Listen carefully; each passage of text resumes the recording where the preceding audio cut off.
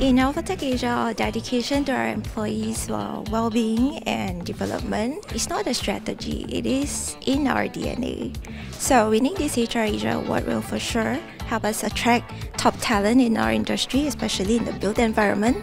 Very competitive. Talent nowadays seeks for an environment that is positive and inclusive to work in. So, winning this HR Asia award serves as an external validation that helps to reassure our prospective employees that the company that they are considering is a company that truly cares about their well-being development and lead with great empathy and that their contribution will not only be recognized but also be celebrated. HR Asia